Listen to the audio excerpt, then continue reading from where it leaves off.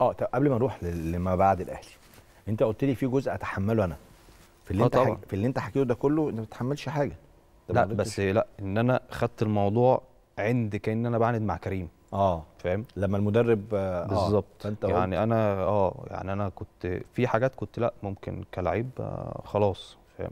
مع إن كان ساعتها كابتن علي عبد الصادق قال لي إحنا عارفين إن أنت ما عملتش حاجة لأن أنت لو عملت حاجة ما كناش هنسيبك كنا هنعاقبك. كنا. هنعمل هنخصم لك هنعمل هنعمل. بس إحنا عارفين ان إنت ما عملتش حاجة. فأنا بقى لأ. فلما لقيت الموضوع بياخد السكة دي طب أنا ما هو غلط في حقي. هاتولي حقي.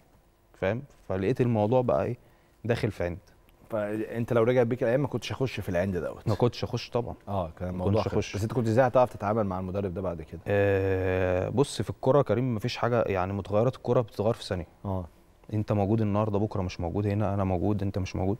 لكن دايما اللعيب هو اللي قاعد. امم المدربين المدرب النهارده موجود بكره مش موجود. امم وحصل معايا الموضوع ده مع جوزيه. يعني جوزيه جه فترة أنا ما كنتش آه، بلعب معاه خالص. امم لدرجة إن هو ماشي قال لي أنت مبسوط؟ قلت له أنا مبسوط.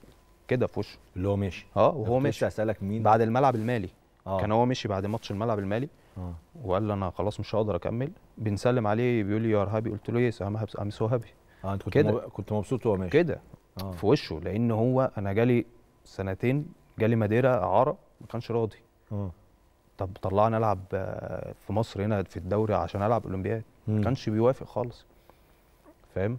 فالموضوع في أوقات لعيب الكورة الناس ما بتبقاش عارفة التفاصيل. امم يعني الناس ليها اللي بيظهر قدام الشاشة.